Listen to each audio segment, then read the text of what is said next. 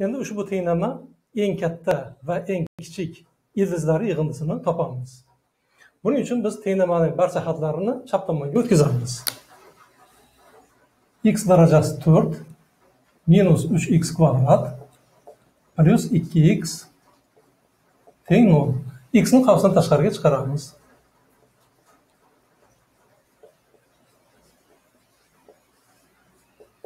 Teng nol bu yerda bitta ildizi nolga teng ekani ko'rinib turibdi. X bir teng nol qolgan ildizlarini topish uchun mana bu ifodani nolga tenglaymiz. Ya'ni x kub minus uch x plyus ikki teng nol bitta ildizini topdik. Va bu bu tenglamani ildizini topishni bir necha xil yo'llarini ko'rib chiqaylik.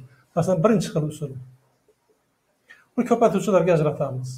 Buning uchun kelinglar quyidagicha ko'rinishda yozaylik. Va buni bitta ildizi bir ekanligini sezib olishimiz mumkin. Chunki x o'rniga birni qo'ysak mana bu chap tomondagi ifoda nolga teng bo'ladi. Va buni qanday bilish mumkin? Agar tenglamaning butun ildizi bo'lsa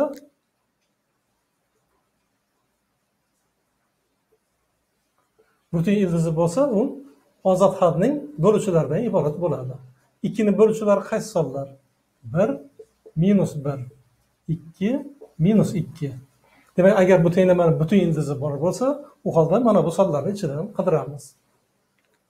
Mana tekshirib ko'rishimiz mumkin. Birni qo'ysak qanoatlantiradi. Bir bu tenglamani ildizi bo'ladi.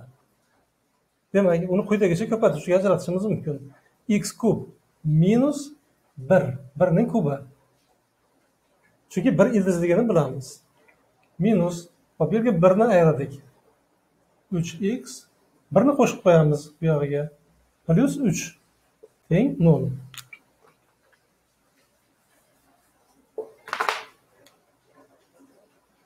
hop birinchi ifodani keltirish formulasiga ko'ra x minus bir deb ko'paytiruv x kvadrat plyus x plyus bir deb yozishimiz mumkin bu ikkitasidan uchni chiqaramiz minus uchni x minus bir teng nol.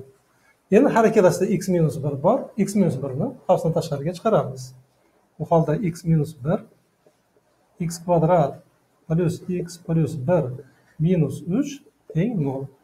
Bundan x minus 1 teng 0 va mana bu ifoda 0 ga tenglaymiz.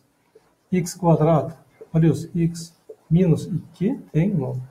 Birinchi tenglikdan tenglamaning ikkinchi ildizini topamiz. x2 teng 1.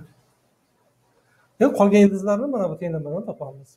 Bu yerda ham bir ildiz ekanini ko'rib turibmiz. Bir buni ildizlari x3 teng 1, x4 teng minus 2 ni 1 ga bo'lsak, demak minus 2.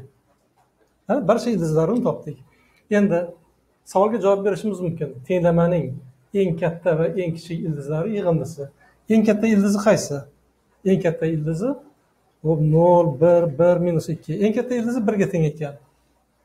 1. Eng kichik ildizi minus 2. Minus 2. qo'shsang minus bir chiqadi. Shunday qilib javob minus birga teng ekan. Ho'p qolgan usullarni ham keltiramiz.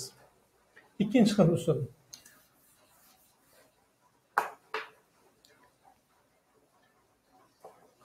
Yuqorida biz mana bu tenglamani bitta ildizi birga birga teng ekanini topdik. Masalan x bir bo'lsa x ikki teng bir ekanini aniqladik.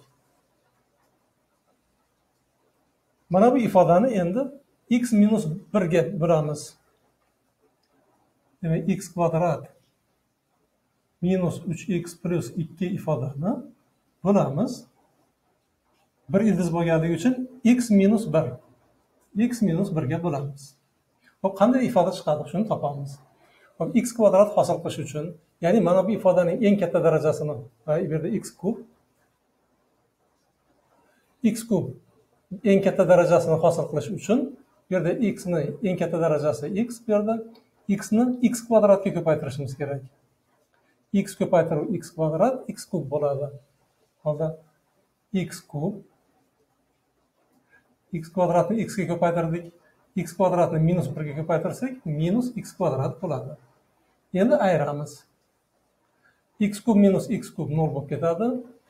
Minus uch x minus minus x kvadrat minus minus plyus x kvadrat bo'ladi va minus uch xni o'zini yozamiz plyus ikkini ham o'zini o'zi tushadi hop x kvadrat hosil qilish uchun x ni biz x ga ko'paytirishimiz kerak demak plyus x ga ko'paytirishimiz kerak x ko'paytiruv x x kvadrat x ko'paytiruv minus bir minus x ayiramiz x kvadrat minus x kvadrat nol bo'ladi minus 3x minus minus x ya'ni plyus x minus 2x bo'ladi. Plyus 2 hop endi bu ifodani hosil qilish uchun yani minus 2xni hosil qilish uchun xni biz minus 2 ga ko'paytirishimiz kerak. Ko'paytiramiz. Minus 2x minus 2 ni minus 1 ga ko'paytirsak plyus 2 bo'ladi. Ayiramiz. Bir xil ifodalarni ayirsak nol hosil bo'ladi. Demak nol hosil bo'ldi. Demak chap tomonni mana bu tenglamaning chap tomonini biz quyidagicha yozishimiz mumkin ekan. X minus bir ko'paytiruv mana bu ifoda. Plyus x minus ikki teng nol. Bu yerdan biz tenglamani keyingi ildizini topishimiz mumkin. X uch mana bu ifodani nolga tenglab x uch teng bir ekanini hosil qilamiz. Mana bu ifodani nolga tenglab biz kvadrat tenglama hosil qilamiz. Mana yuqorida ham kvadrat tenglamani hosil qildik. Kvadrat teng nimani yechishini bilamiz. Uni ildizlari bir bilan minus ikki. Demak bu yerda ham x to'rt. Va mana bu x ikki. X ikki yuqorida yozgan ekanmiz. x uch. Bu ham birga teng x to'rt. Minus ikkiga teng. Demak shu ildizlarni topdik. Hop endi navbatdagi usul o'nta misolni bir xil metod bilan yechgandan ko'ra bitta misolni o'nta metod bilan yechgan afzal.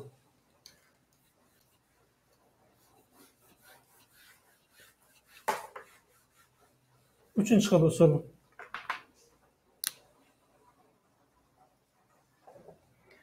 Yana bu ifodani biz x minus birga bo'lmoqchimiz. Mana yuqorida biz mana bu tenglamani bitta ildizi bir ekanligini aniqlab oldik. Endi mana bu ifodani x minus birga bo'lamiz.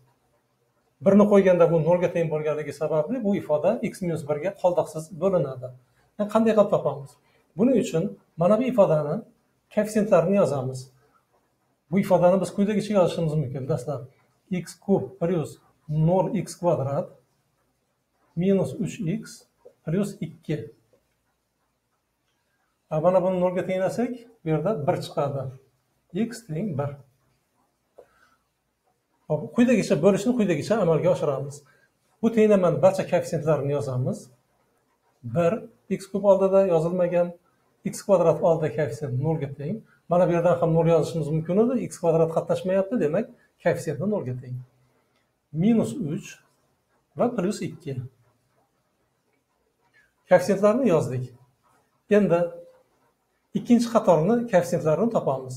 Birinchi koeffitsient sifatida mana buni o'zini yozamiz. Bir birni mana bu yerga yozib qo'yaylik. Bir.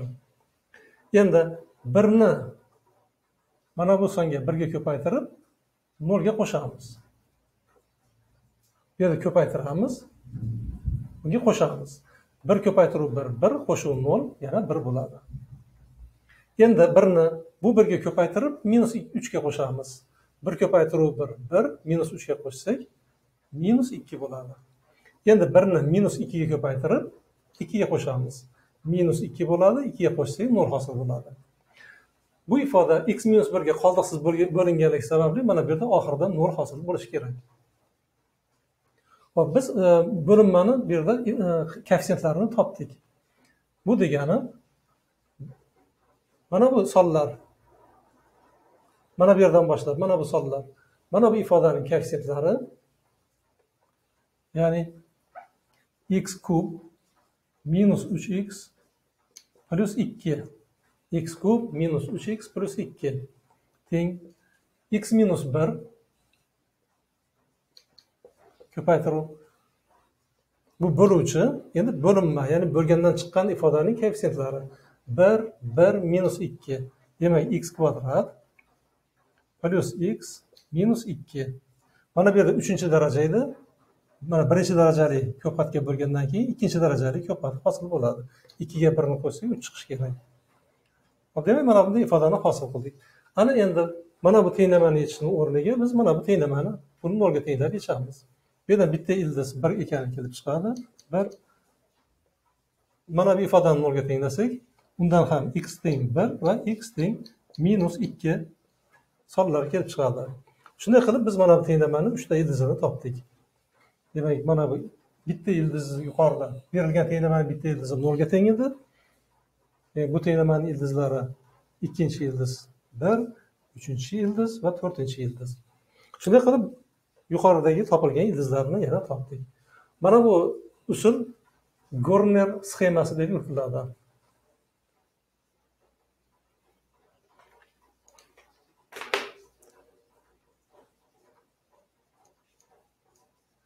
gorner sxemasi